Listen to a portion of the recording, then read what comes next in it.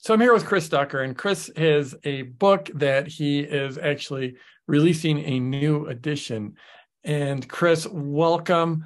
Looking forward to this. And just to set the stage for everyone, we're going to talk about you know why publish a book, the idea of trade publishing versus self-publishing, why now, um, and also like what what a book can do for your business. So, Chris, welcome. We always have a lot of fun when we talk. I'm looking forward to this conversation. Yeah, you and me both. I like how we always end up talking for almost one hour now before we hit the record button for the actual yeah, reason for yeah. the call. Yeah, yeah, it's, but it's it's good stuff. Right. It's 53 minutes after the hour. I finally actually started recording. Um, so, Chris, tell us a little bit about your book. Yeah, so Rise of the Youpreneur uh, it came out in uh, well, it came out officially in February 2018. Uh, but we did a super secret launch of it at the first ever Youpreneur Summit conference, which uh, was held in London, uh, where I had told nobody that I was writing this book. Um, so I, get, I guess what I should probably do is kind of like rewind back 30 seconds here and say that the book came out of the mastermind community that we launched in 2015 under the Youpreneur brand. Uh, and it was based around helping people that were ultimately building a business based around themselves, what they stand for, their expertise, and obviously the people that they want to serve, right? And so after a couple of years, this this framework had kind of almost self-manifested inside of the community what people wanted what they didn't want what they liked what they hated. Um, and slowly but surely this three-step framework of build market monetize came to fruition. And i was like well this is a book. Like this is this is definitely a book. Um, we can break this down based on what we already know. Let's write a book. And so uh, beginning of 2017 as well as putting on this large event in london i started writing a book because clearly i don't have enough work to do and um, long story short, we launched the book as a limited edition hardcover uh, uh, copy, and we gave a copy to everybody at the event, and they were floored. They had no idea that it was coming. Uh, and then we we released it obviously officially uh, early the next year. So yeah, we've we've just hit our fifth anniversary, or we're about to hit our fifth anniversary. We've come up with a brand new cover for the book, uh, a brand new intro, brand new resource section. We've tweaked and changed a whole bunch of images and graphics and everything inside of the book as well, and uh, giving it a little bit of a facelift. So, in this industry, a lot of people, and I went through this with my book, people assume that stuff's outdated if it's, you know, if it's been published more than like 14 days ago. Right. right. I mean, yeah. Isn't it true? I mean, oh, totally. You know, totally. The, the yeah. latest, latest, latest, freshest, you know, and and so I went through a refresh of my book, and, and like for me, it was like from 14 till 21, so it was like seven years, and it was a significant refresh. Can you just talk about a book having legs and, and continuing in this industry, and still and staying relevant, and why that is? Yeah, I think that I think if you write a book out of the gate that has a long term mindset attached to it and a long term value attached to it that for the most part that book will never go out of date right? So you know we look at some of the, the think and grow rich napoleon hill. You pick up any zig ziglar book right? You know these are classics right? See you at the top. It's a check up from the neck up and all this kind of stuff. Like this is the stuff that i think that a lot of authors particularly business authors are getting wrong today um, and they realize why their book stopped selling a year after or two years after they publish it. And they niche themselves too much. They put themselves in too much of a you know a, a pocket and and ultimately they make it too relevant to the time and not relevant to just our time right? And so with rise of the youpreneur and even actually with my first book virtual freedom which is all about building a team of virtual assistants to help you run support and grow your business that book came out in 2014. People are still buying it. They're still reviewing it. They're still giving it five star ratings all these years later. And people are still calling it the Bible for like for working with virtual assistants. And it's all these years later. And that's because, yeah, sure, some of the tools that I mentioned in the book are pretty much out of date now. But at the end of the day, working with great employees to help you run and support your business is never going to go out of fashion if you're a business owner. With Rise of the Youpreneur, exact same thing. In fact, if anything, it's become even more important because of the creator economy, the gig economy, the freelancer economy, you know, public speakers, uh, consultants and coaches, all these people, they can build a seven figure plus plus plus business based around their expertise. And so when it comes to the book itself, the actual core of elements of the book haven't changed in any way, shape, or form. They are word for word the same. The bits that have been updated are obviously, you know, the, the preface of the book and the intro of the book, along with bits and pieces in the resource section as well.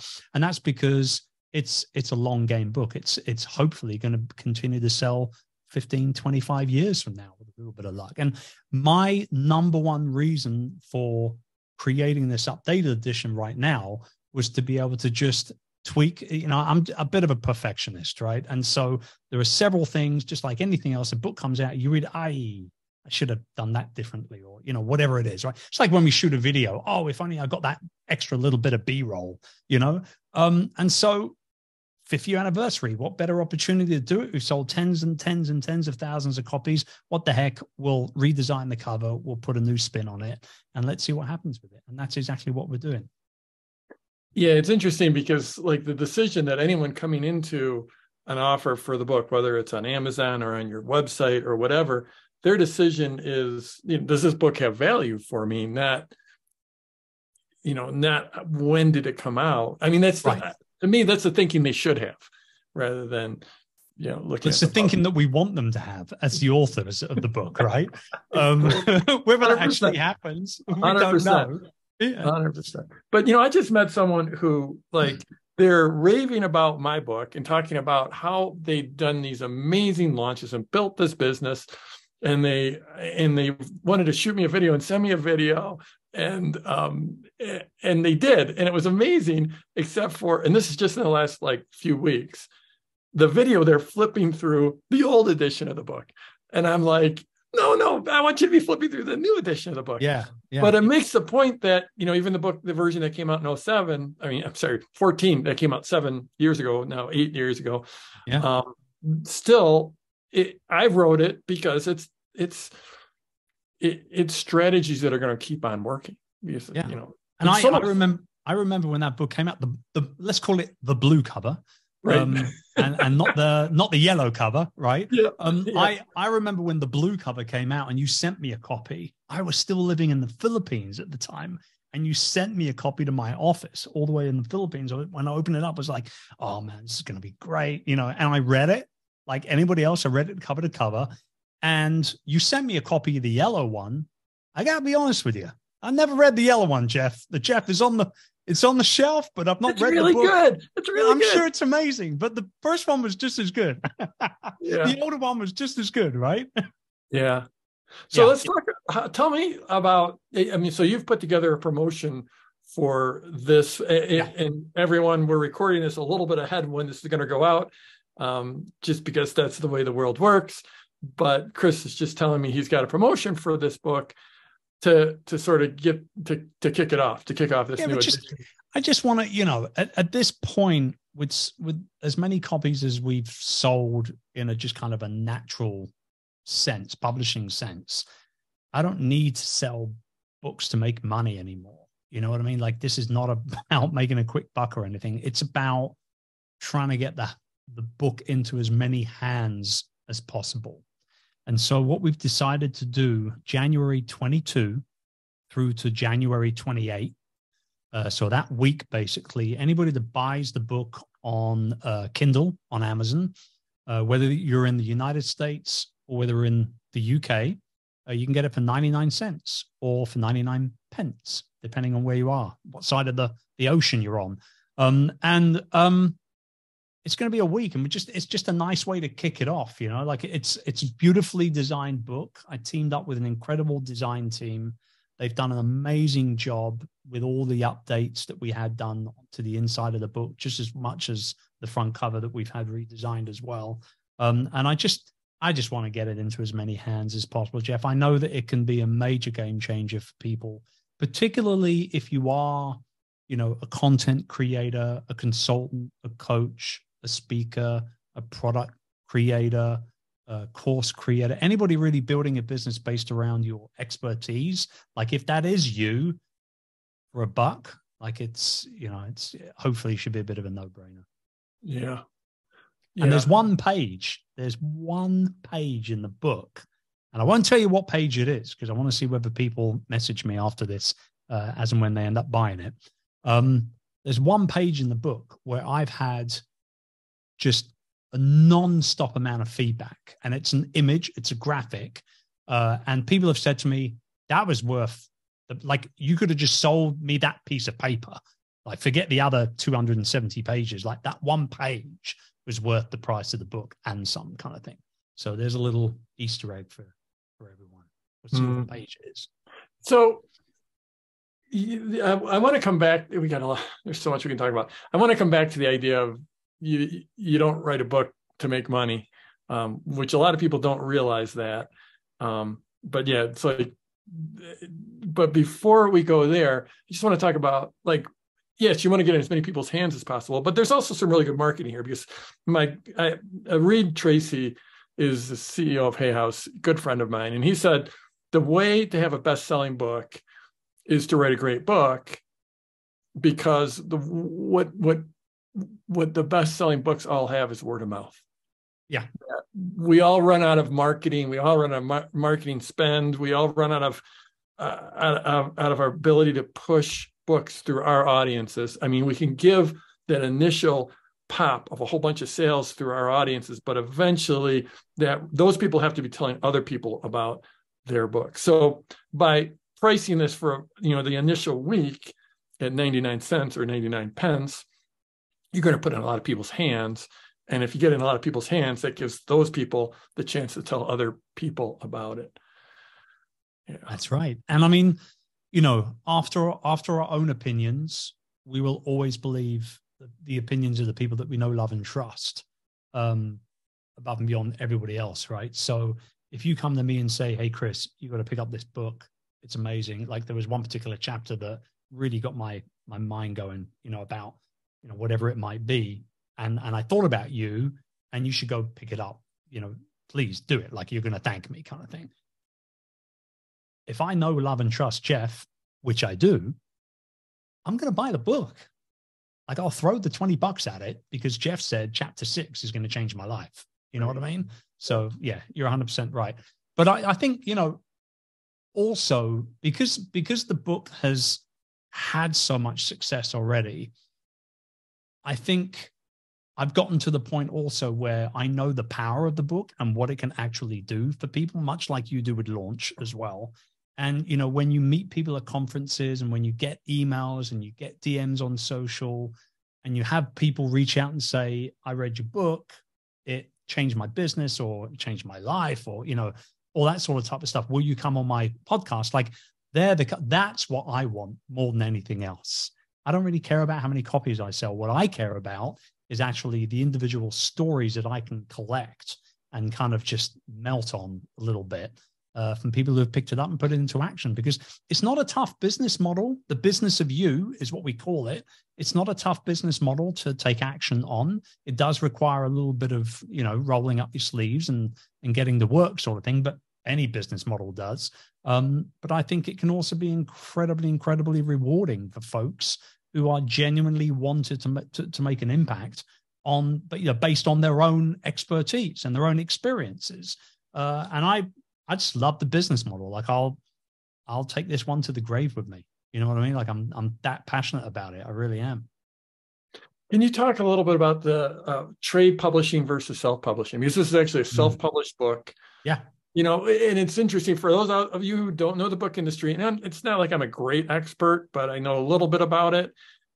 You know, the the number of books that are released every year is really large. The number of books that sell even a thousand copies is pretty small.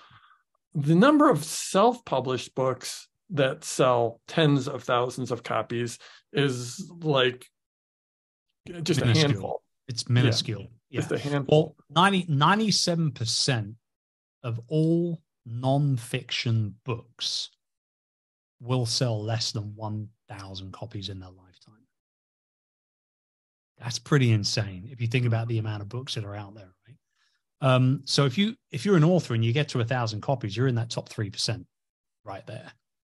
And so to go ahead and sell, you know, 10,000, 20,000, 100,000, half a million, whatever it is, it's it's kind of crazy. I just saw recently um, Atomic Habits like hit 2 million copies sold or something like incredible, just incredible feat.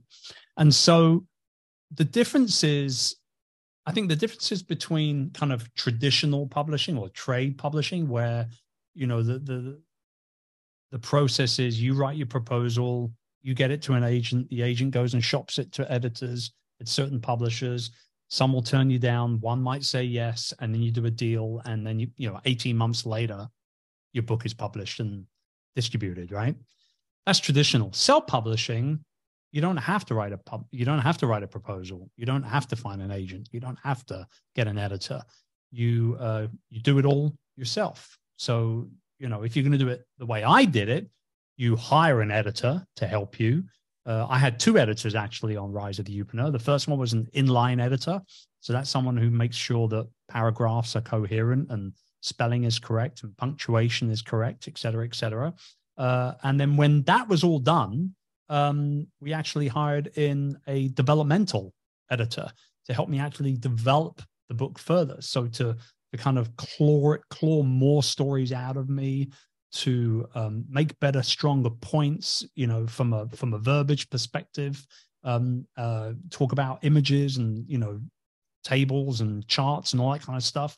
And uh, I mean, they're both worth their weight in gold those, those types of hires right and then you do it on a project basis but then you've got to get a graphic designer now you've got to get a cover designer et cetera et cetera et cetera so you know you can do it cheap and cheerful if you want and there's nothing wrong with that at all um, but if you really want to have a good shot at creating a book that looks like really legit uh, then you spend a little bit of money and effort to make it look like that. Um, the great thing about self-publishing is that the book can come out as soon as it's done. Whereas with traditional publishing you usually do have to wait just because of the way that distribution and sales pattern works and things like that. Well also i mean there when you self-publish then you completely control the intellectual property. Yep. And it changes the economics of like if you want to sell a lot of people sell books off their website or you maybe you go and speak and you and you would sell books. Probably not the thing i would suggest if you're going to speak but but just from your website you can have people you can do free plus shipping offers.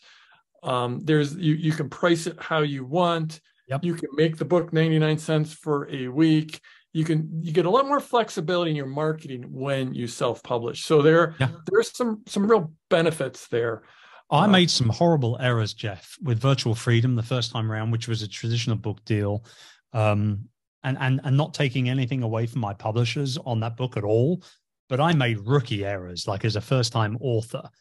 You know, here, here I am. You know, the book came out 2014. I signed the deal right at the end of 2012. This is a guy at that point. You know, I'm doing multi millions a year as an entrepreneur. Uh, I've got hundreds of people working for me yet. I am a total rookie when it comes to signing a book deal. So not only did I sign away the audio book rights, but I signed away all the international rights as well. Now I eventually got the international rights back, but the audio book was already done and sorted. And the publishers actually wanted it done really quick. Now I'm a podcaster as well, as you well know, and I should have read Virtual Freedom but I didn't because they wanted it done now. Like it's hot, we need it now. Like, well, I'm on a six week speaking tour to promote the bloody book. When do you expect me to get into a booth and record this thing? Like, it's not going to happen. So they got some other guy to record it who, well, I swear the guy must have worked for like the Shakespeare Company or something. It was uh, virtual freedom and all this kind of stuff. It was just embarrassing, Jeff. It was horrible. Um, and so, you know, it, it's just one of those things. And obviously, when you when you publish traditionally, you do make a much, much, much smaller royalty as well. Whereas you go self-publish, obviously, I've done the book. I every I think six, seven different languages it's in now. I've brokered all those deals myself or, or through an agent. Um, and you know, when I sell, a copy of a book, regardless of whether it's paperback, Kindle, or Audible, um, I get the lion's share. You know, this is not just a buck a book. Like I'm making, you know, anything between four to you know seven, eight dollars on, on a book sale. You know, at full price. So it's it, it can actually end up being a really good little money spinner at the same time. Yep. And there there are benefits being trade published. You know, like without know, a doubt. Yeah, here's my book. It it's you know we published it through Hay House. Uh, was an amazingly awesome experience. Um, you, you know, there there there are some benefits. It's easier to hit the bestseller lists, yep. not the Amazon list, but the like you know I hit New York yeah. Times number one. It's hard to do that with a self-published. It's impossible. It sure is. And and and for the record, my next book will be traditionally published again you learn by your lessons right? And uh, and your mistakes. And so i'm ready to go you know when that time comes i'm ready to go back out into the arena of of traditional publishing because of that very reason the distribution you know getting your book into airports and all that sort of type of stuff. Like it, it makes a big difference particularly for a nonfiction uh, author you know so one of so I just I wrote this down because for everyone following along at home, every time Chris and I talk, I I'm like writing down these little English things that Chris says. And I, and I'm sure there's plenty of American things that I'm saying that make you laugh. But you said if you just want to do it cheap and cheerful, I'm like cheap and cheerful. That, that's not a. We don't say that here. We don't say. I'm like cheap and cheerful. I, I'm. I'll be honest with you. Like I, there's a. It happens very rare now. I have a lot of American friends. Right. I'm like the most un-British Brit most Americans will ever meet. Like I'm not a soccer guy or a football guy. I'm a Celtics dude. I'm a I'm a hoops guy. Right. So like, it's interesting because I don't really get those moments with American friends where I'm like, wait a minute, what did you just say? Because I'm I kind of feel like I'm a little bit into the American culture anyway, just from the 20 odd years of traveling there and whatnot. But when I do speak with Americans and still like very close friends, like people that I've known for 15, 20 years, I come up with some stuff sometimes and they're like, well, wait a minute, wait a minute now. What the hell did you just say? You know, and I and I need to repeat. And they said, what the hell? I said, just Google it. I don't have time to go through it with you now. Just just do yourself a favor and Google it, you know. But yeah, I think that's one of the you know, that's one of the reasons why I love hanging out with uh with my with my American friends. Is it's always good fun as well. Is it niche or niche? Is it you know it's, it's is it aluminium or aluminum? I don't know. Well, that one, that one's just clear, but there's just no, no, that's just clear. But, but niche and niche, niche and niche.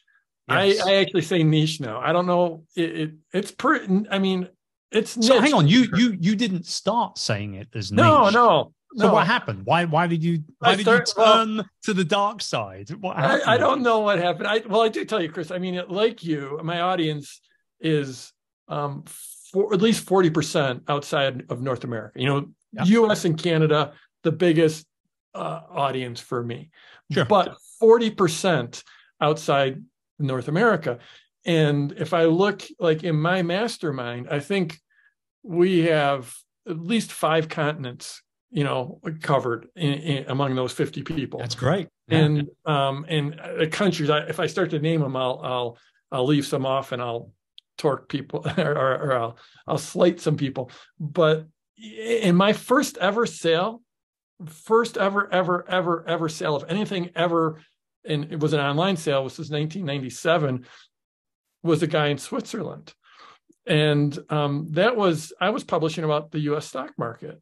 And and I think that changed the game for me. Well, first of all, I couldn't take online payments because in 1997, taking online payments was rocket science. So a guy sent me a check from Switzerland. Yeah. yeah. I'm, I'm, I'm like sitting there in my baby's changing room, typing on like the cheapest computer. And like, I didn't think that any of this business could go anywhere. And all of a sudden some guys from Switzerland, I've never been out of, you know, out of North America in my life is sending me a check. And I just, oh my goodness so I've been very, very aware from the early days that this is an international, worldwide business, no matter yes. where you are. Yes, and, and it's a fun thing. That's that's what makes it fun. That's what makes it fun. Yeah, it does, and it changes the way you. I mean, it's just it's just like travel. You know, travel expands our minds. And there's so many great quotes around that. None of them are coming to mind right now, but you know, you the if you travel, unless you're the most closed-minded person in the world, you will start to notice that other people in other places have stuff figured out and they treat they do things differently. And it, it is so mind expanding.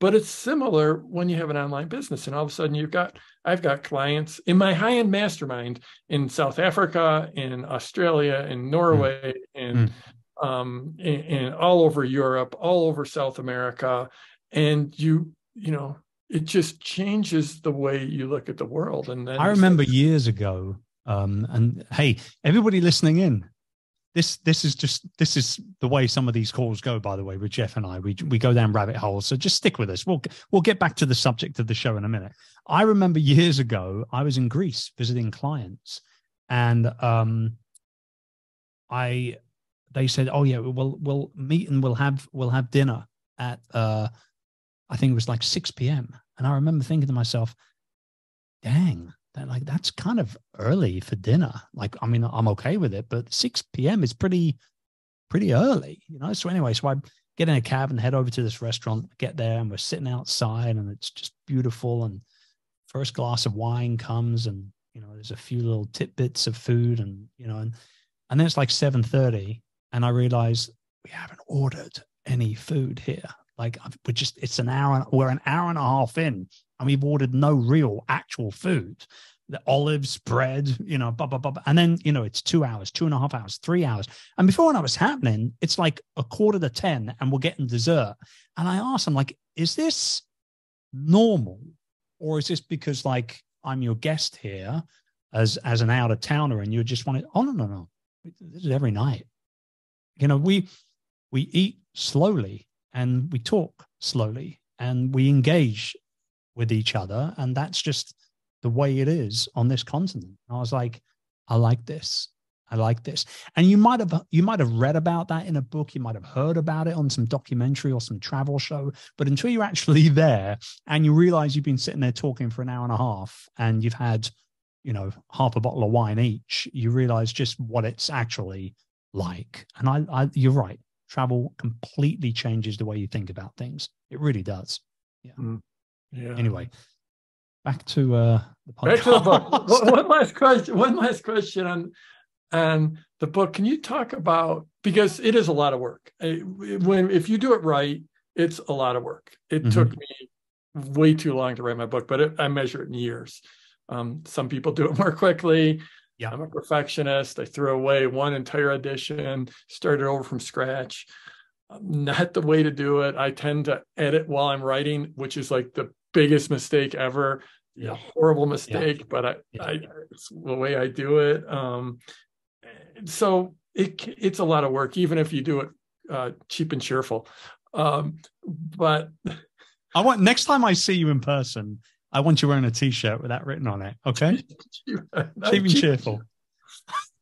can you can you talk a little bit um, about what it's done for your business? Because I know I've got a story about what it what having a book has done for my business.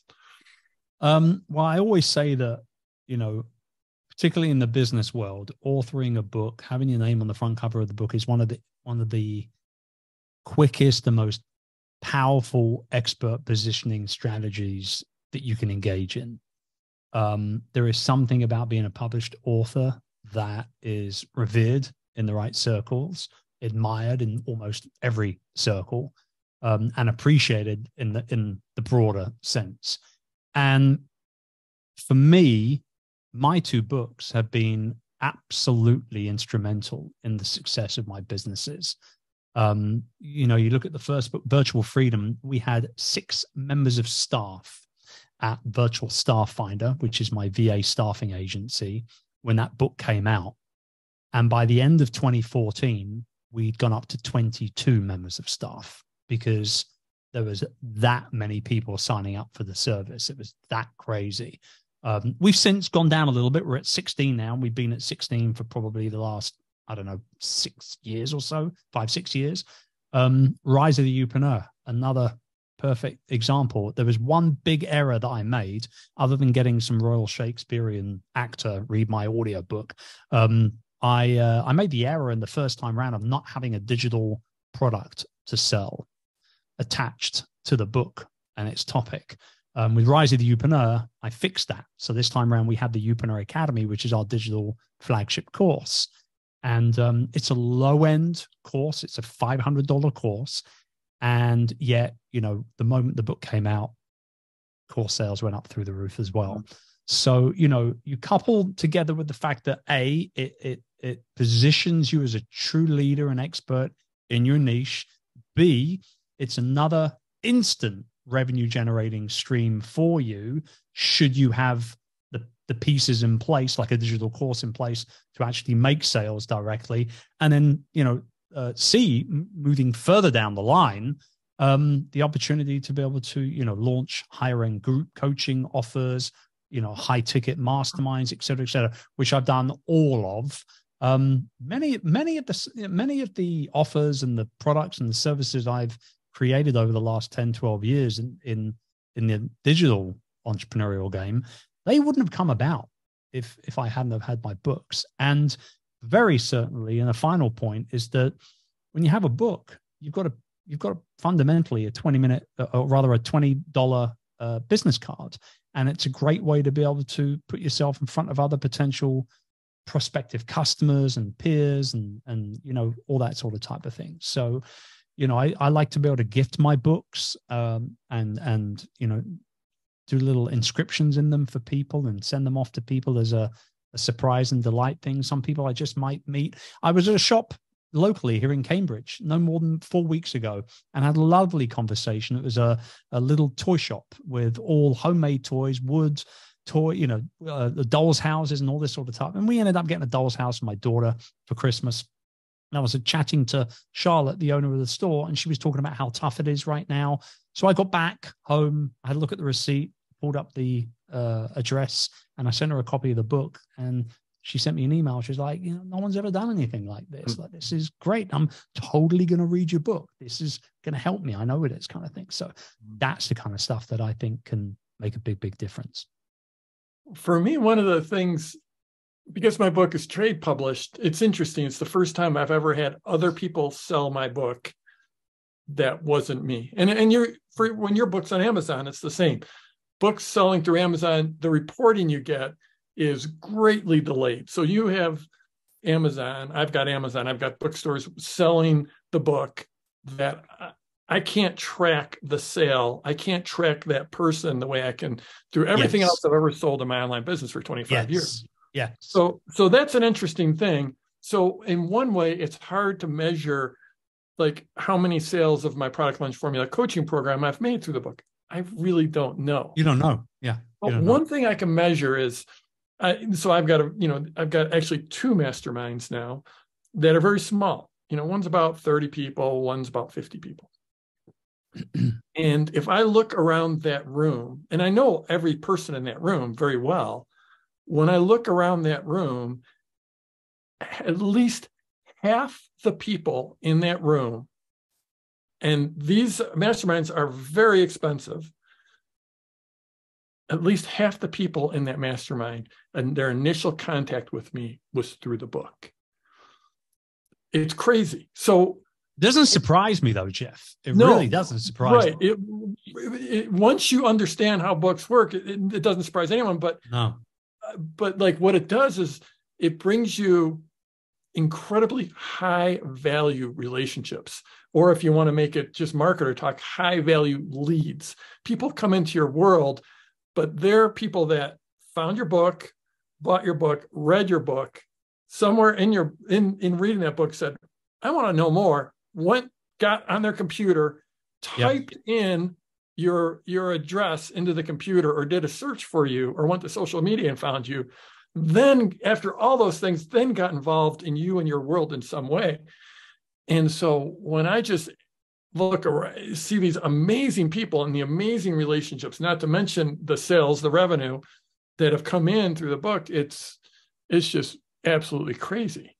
Yeah. Absolutely crazy. Yeah. So oh, I remember yeah. those a guy uh, many years ago, Chris Brogan. You probably remember Chris. Yeah, uh, yeah. well, it's not like he's gone anywhere; he's still around. Right. But um, he, he actually he- tweeted recently about me not recently in the last couple of years about me i'm like chris brogan knows who i am it's like what yeah it's like yeah, Chris is like OG. He's like an OG speaker circuit guy and all the rest of it. And I remember when I, the first time I ever met him, I, I was kind of like fangirling over him a little bit, and I was like, "Oh my god, trust agents!" Blah, blah, blah, blah, blah, you know. And he was like, um, I said to him, "I want to write a book. What's your biggest like tip or, or benefit or takeaway for me writing a book that you know that that will maybe make me do it or not, and you know whatever." And he said, I got one for you. Here it is. You don't write a book to make money, you write a book to get busy. I'm like, oh man. And I've never forgotten that. I've never forgotten that. I've said it over and over and over again in the last decade.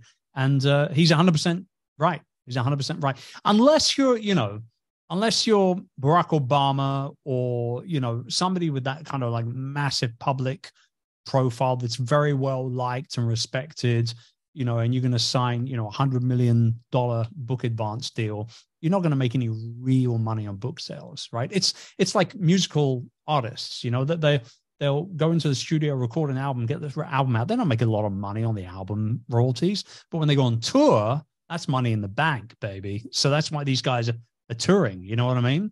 And so um, it's it's an interesting world, the publishing world, and it's one that I think is realistically probably a year or so, maybe two years max, away from having like a really big shape up, shake, shake up. I think there's going to be a lot changing, particularly in the traditional book world, because the way that we're consuming content now is changing so much with almost every passing year. You know. 100% Yeah. well chris this has uh been fun we've gone way longer than I, we we always do go longer than we expected where can people find the book Uh, well, you can go and just check out chrisducker.com forward slash books. And uh, there'll be links there, or you can just search for it up on uh, Amazon. Like I said, uh, January 22 to January 28, 99 cents if you're in the US, 99 pence if you're in the UK. Um, and uh, just grab it on Kindle. And whether you read it immediately or, or you sit on it for a little while, I would just appreciate the support. And I hope you enjoy it if you end up grabbing it. and, and for those of you out because a lot of folks are going to be outside the us and uk um, you know amazon has a lot of rules that they they set that We're not in, even though it's our book, we can't control Amazon, unfortunately, right? right but even at full price it'll be well worth it go get the rise of the Youpreneur chris as always fun talking to you and Yes, my friend. Yes. Thank you very much.